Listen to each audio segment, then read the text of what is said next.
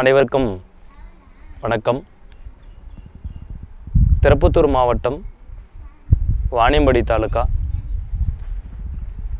ராமநாயக்கம்பேட்டை என்ற ஒரு கிராமத்தில் பிரமிடை பற்றி நாம் இன்றைக்கி பேச போகிறோம் என்னுடைய பெயர் பாரி. வாணியம்படி தாலுகா ராமநாயக்கம்பேட்டை. ஒரு தனியார் பள்ளியில் ஆசிரியராக நான் பணியாற்றி கொண்டிருக்கிறேன். பிரமிட் அப்படின்னு சொல்லும் பொழுது நான்கு பக்கமும் ஒரு கூம்பு வடிவாக இருக்கக்கூடிய அந்த பிரமிடை பற்றி நம்ம ஒரு மன அமைதிக்காக நாம் இன்று பேசுகிறோம். உண்மையிலே இந்த பிரமிடு என்பது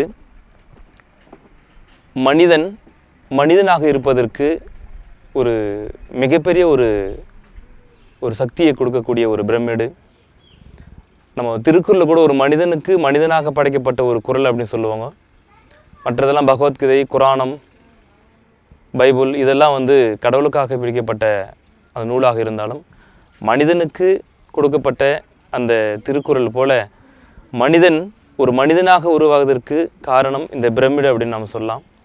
அப்போ நம்ம தியானம் செய்வது அதை பற்றி தான் நம்ம பேச போகிறோம் அப்போ தியானம் அப்படின்னு சொல்லும்பொழுது ஒன்றும் கிடையாது.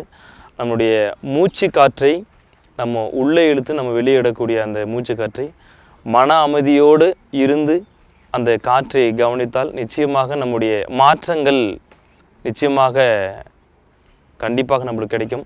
அந்த மாற்றம் என்னென்ன மாற்றங்கள் அப்படின்னு நம்ம பேசலாம். எனக்கு நிகழ்ந்த ஒரு நிகழ்வுகள் ஒரு தேர்வு அப்படின்னு வரும்பொழுது நான் மாணவர்களுக்கும் நான் சொல்லுவேன். இப்போது மன அமைதியாக இருந்தால் எவ்வளோ சாதனைகள் நிச்சயமாக நடக்கும். ஒரு பொது தேர்வில் மாணவர்கள் தியானம் செய்யும் பொழுது அவங்க வந்து தேர்வுகளில் எந்த ஒரு அந்த பதட்டம் ஒரு படபடப்பு எதுவுமே இல்லாமல் அவனுடைய மன அமைதியோடு அந்த ஒரு மூன்று மணி நேரம் தேர்வு எழுதுவதற்கு அவங்களுக்கு ஒரு மிகப்பெரிய ஒரு உந்து சக்தியாக இருக்குது. அவங்க மன அமைதின்னு சொல்லும் பொழுது ஒரு குறிப்பிட்ட வயசு ஒரு பதினெட்டு வயசு ஒரு மாணவர்கள் அப்படின்னு பார்த்தீங்கன்னா குறைந்தது அவனுடைய வயது எவ்வளோ இருக்குதோ அந்த வயது வரை நம்ம தியானம் செய்யணும்.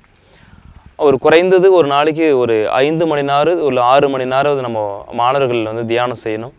இப்போ நான் தியானம் செய்யும் பொழுது குறைந்தது நான் ஒரு ஆறு மணி நேரம் தியானம் செய்கிறோம் அப்படி செய்வதனால நம்மளுக்கு என்னென்ன பலன் நடந்தது? நம்ம குடும்ப சார்பு அப்படின்னா நம்முடைய பெற்றோர் நம்முடைய உடன் பிறந்தவர்கள் அந்த சமூகம் இது எல்லாமே ஒரு எந்த ஒரு கோபம் அப்படின்ற ஒரு மனப்பான்மை நம்மளுக்கு நிச்சயமாக இந்த தியானத்தின் மூலியமாக வராது.